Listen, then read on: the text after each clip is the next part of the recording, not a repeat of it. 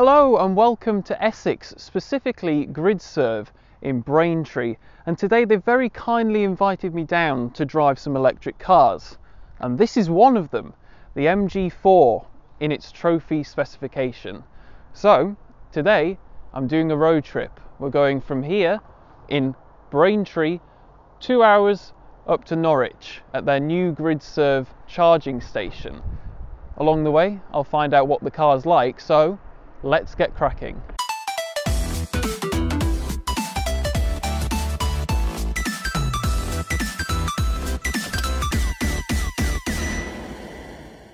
Finally got our hands on the MG4, isn't that great? And in person, it's actually quite a lot bigger than you think. It's a lot longer and wider and there's a lot of room inside but let's start at the front where it's very aggressive these these lights with these sort of LED blades coming down all pointing towards the center.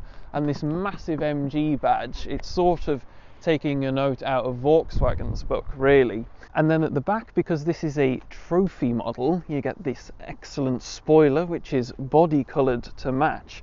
And this rather interesting light bar that goes across the top with some interesting patterns in it. Anyway, if we open up the boot quickly, we can see that there is 363 litres of space in here, which is all right, not class leading, but pretty decent. And it's a nice square shape and there's no load lip either.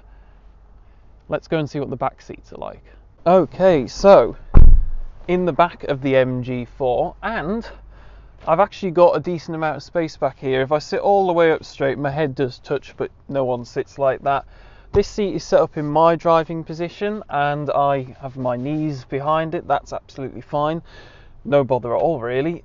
One thing I would mention is because this is an electric car, the floor's quite high because that's where all of the battery pack is. So that means that my feet are brushing slightly on the seat in front. I, I would prefer it if the seat was set a bit higher so that I could get my feet under, but other than that, it's fine. Again, materials in here, it's all it's all black plastic, but at least they've done something with it to make it different textures and stuff like that. It, it, they've done what they can in, in a car that is ultimately built to a price. You've got two pockets on the back here, so you can put your phone in if you want to, and then I guess you could watch it. In terms of other practical things back here. You do have door pockets, they're not very big, but they're there. A USB A there in the center, and there isn't actually any armrest, so it's a bit tricky if you're wanting to rest your arm somewhere. Right, this is the cabin of the new MG4, and I have to say I'm very impressed with it. I'll talk more about it when we're driving, but lots of cubby spaces down here you've got cup holders there's your wireless charging pad huge bin in the center here and a little bit of elasticated thing there. I don't really know what that's for. I guess you could put the key in there if you wanted to. Big glove box. But yeah the overall design is is very nice. Very impressed with it. It's minimalist but there's still a couple of shortcut buttons so it's better than Volkswagen in that regard. Okay, so now we're out driving the MG4 in its trophy specification, and from where I'm sitting, it's very comfortable actually. These seats are quite nice. Got a little bit of bolstering on them, so they're a little bit sporty, as it's an MG, but not so sporty that it's uncomfortable. This headrest is really soft. It's actually quite pillow-like the only headrest that I felt that was as soft as this was in a Mercedes S-Class, and that's quite high praise. As I said, I'm on my way to Norwich. Never been there before, I don't think. But the MG4 will keep me company the whole way. This is a good little two hour road trip to get to know the MG4 and find out what it's like to drive on different kinds of roads. We're going to be doing a bit of motorway, a bit of a road and potentially B road as well, so we can see what it's like there. This steering wheel is a bit odd. It's not circular, but it is at the same time. It's it's, it's quite it's quite chunky, not quite as chunky as a BMW steering wheel, but still fairly chunky. I don't want to say that it looks like the steering wheel from an Austin Allegro, but it does sort of look like the steering wheel from an Austin Allegro. That's sort of rounded off square. It's not quite like that, but it's in the image of that, shall we say. So let's talk a little bit more about the cabin because this is where you're going to be spending most of your time if you buy one of these. And it's very minimalist. It's sort of more similar to the ID3 in that regard, where it's pretty much total lack of buttons, but you do at least get some shortcuts along the bottom of the screen. Now, unfortunately, your climate controls are still all done through the screen, and that's a bit of a fiddle. It's not ideal. I'd rather just have a rotary dial that I can change the temperature or the fan speed or whatever, but I know that's how most modern cars are now, and I've just got to accept it. But it won't stop me complaining. I do not like that. All MG4s come with a 10.25 inch touchscreen, which is what that is there, and it's very clear. Seems to have all of the information in it that you need. You can hook your Apple CarPlay and Android Auto up to it as well. And then in front of me here, I have a smaller 7 inch screen, but this is more square, it's more like a tablet, like an iPad, and that's my driver's display, which has important information like my speed, my tyre pressures, my battery level, and this is where all of the information for the MG pilot system lives as well. So I can currently see that it can see the car in front of me and the car in front of that, which is a van, and it can also see the white lines and whatever. But when I get onto some more dual carriageways, then I will tell you if that system works because it's quite impressive that a car of this size and especially a car at this price point because after all this is currently the cheapest electric car on sale in the UK that it has something like this. It's not quite Tesla levels, but it's pretty good for this class of car. I'll be keeping an eye on the range as well because this journey is 78 miles, and when we set off, we had 170 ish miles. It was sort of flickering between that and 169. So let's see how that goes because, in theory, by the time we get to GridServe at Norwich, we will, in theory, have around 90 miles of range, but let's see if that actually comes to fruition. So, below that screen, because this is the top spec trophy model, I've got a wireless charging pad. If you go for the SE or the SE long range, you don't get that. So if you want a wireless charger, you're going to have to go for the Trophy. And then, sort of pushing out on this platform in the middle here is your drive selector. So it's on a dial, so drive, neutral, reverse as you would expect, and push it for park, and then your electronic handbrake. But that really is it. There isn't anything else. It's just put it into whatever direction you want to go, and it's ready to go. So a few other things that I get in the trophy that you don't get in the SE spec cars. I have a heated steering wheel, heated front seats, I've got a 360 degree camera and I've got inbuilt sat nav which I'm currently using. Obviously if you've got the SE cars you just hook up your Apple, Apple CarPlay or Android Auto anyway so it doesn't really matter. It's only if you want to have the inbuilt system, which works quite well, but I don't know why you would need sat nav these days. Everyone just plugs their phone in.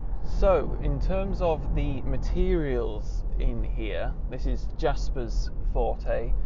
Uh, I've got some nice padding on my armrest down here. Again, some nice padding on top of the center armrest here. On the tops of the doors, it is hard plastic, but it's not a cheap feeling hard plastic. It's it's got a different sort of pattern in it, so it's actually quite tactile.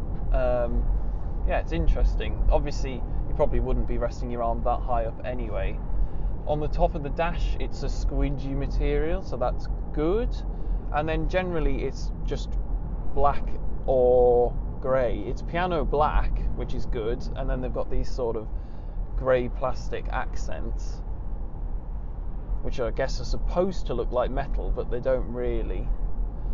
But it is cheap compared to its rivals, and I don't really think that this is any worse material quality wise than the ID3 that we went in not that long ago. Everything feels well screwed together. You can't move the center console about, nothing's rattling or shaking.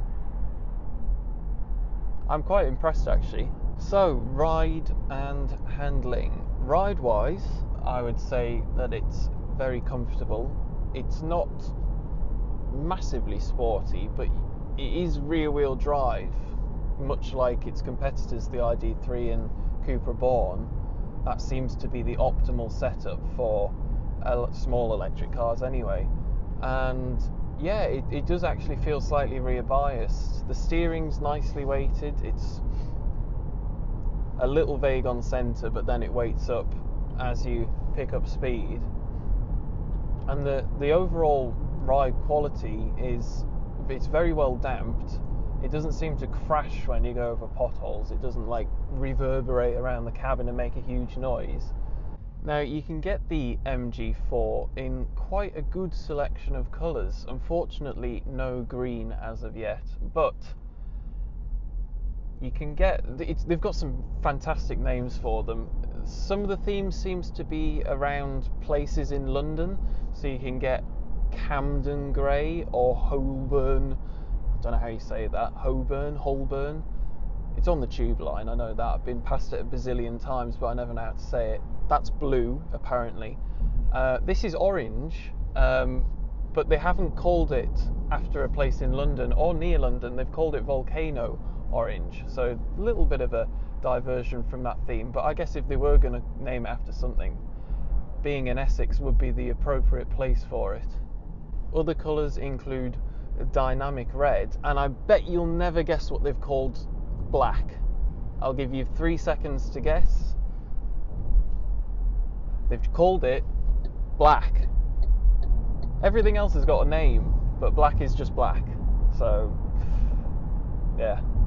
So now I'm on the A12, which isn't a motorway but is a busy A road. So I have set the MG Pilot up uh, to hook onto the car in front, which comes as part of the MG Pilot, is the adaptive cruise control. So it's hooked onto the back of the Mini in front of me, and I've got it set so it can only go 70 miles an hour.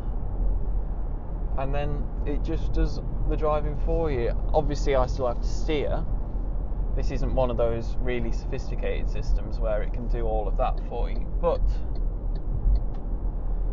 that isn't the only thing that you get with MG Pilot. You also get autonomous emergency braking, you get lane keep assist, blind spot monitoring, rear cross traffic alert, all of those things that you want because they keep you safe, this car has and that's standard on the MG4 range. It's not just something you get on the trophy.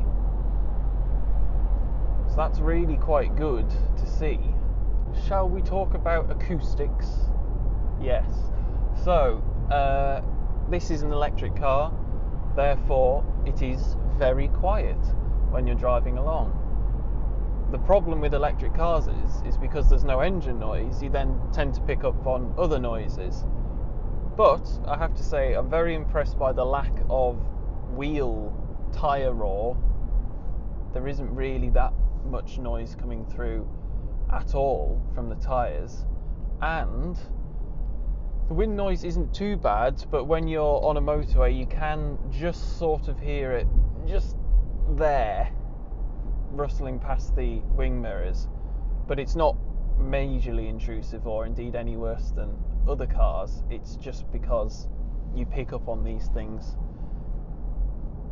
if you're in a electric car. So let's talk about batteries and range and all of that stuff that's important when you're buying an electric car. So, you can get two different kinds of battery in the MG4.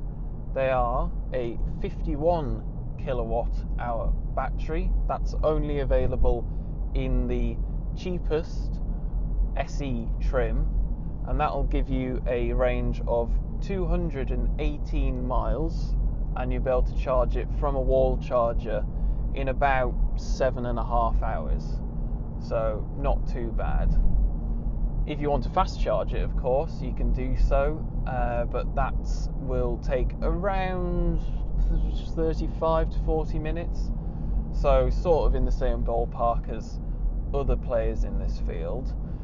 If you go for the long range, you then get a bigger battery, 64 kilowatts, and that has a range of 281 miles, and that's the biggest range you can get on an MG4. Because if you go for the trophy, you get things like bigger wheels, that spoiler on the back, a few extra toys, so it's slightly heavier, and that means that the range on the trophy drops to 270 ish miles. So it's only about 10 or 11 less than what's quoted for the long range. Power wise, you get 170 PS in the base trims and 250 newton meters of torque.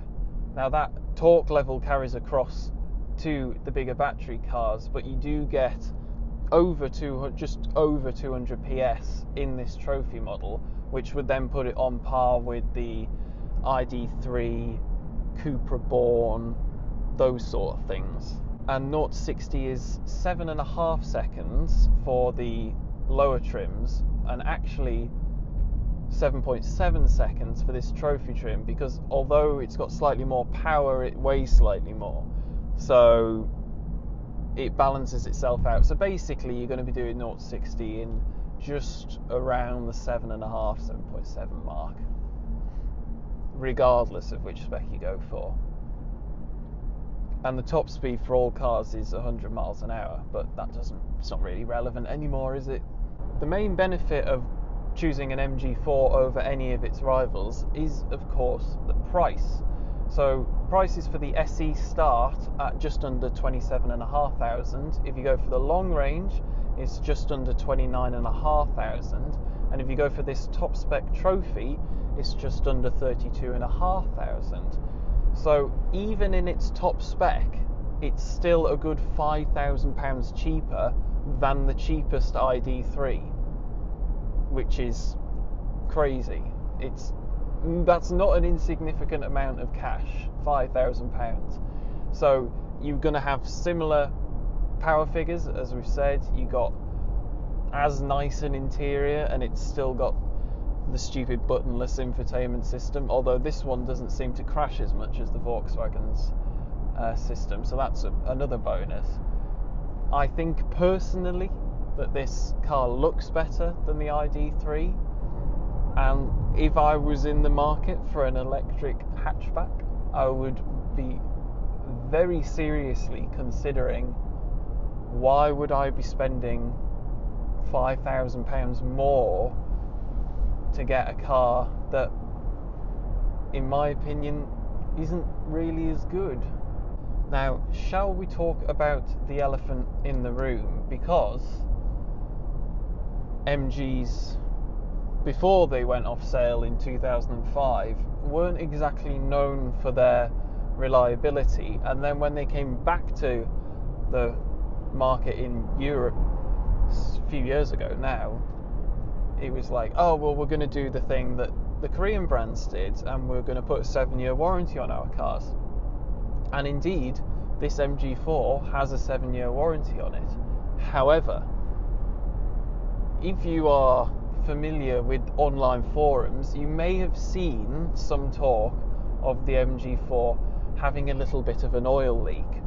Now, this is amusing because only MG could build an electric car that leaks oil.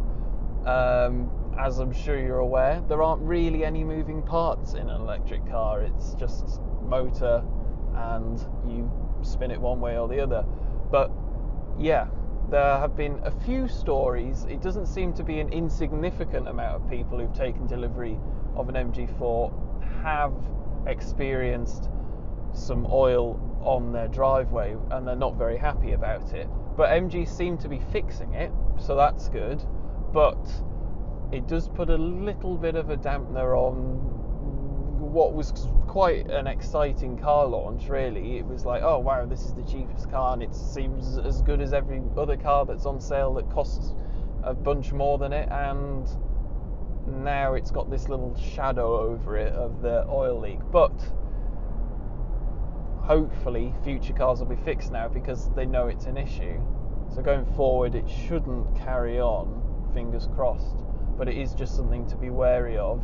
Anyway, that's enough of me chattering on. I'm going to enjoy the rest of my road trip in the MG4 and I shall see you at GridServe in Norwich where I will do a bit of a conclusion for you. Okay then, so the MG4. Well, I'm actually extremely impressed with it and for those wondering, I only actually used 40 miles of range on my nearly 80 mile journey. So I think the person who was driving this previously might have had a heavy right foot because it, it, it was doing an exceptional job and was very efficient. In terms of its rivals, I would probably pick one over the ID3 because I've driven that and I prefer how this looks. But I haven't driven the Cupra Born yet, and I've heard a lot of people say that that drives a lot better than the ID3. So we'll have to give that a go at some point later this year. Anyway, if you've enjoyed, thank you very much for watching please give it a like, comment down below if you've got something to say, but most importantly, please do subscribe to the channel, it really helps us out. If you want to support the channel, you can do so in one of three ways. That is Patreon, memberships right here on YouTube, or you can buy some merch, which I'm sporting here. Anyway, thank you again for watching, and I'll see you next time. Goodbye.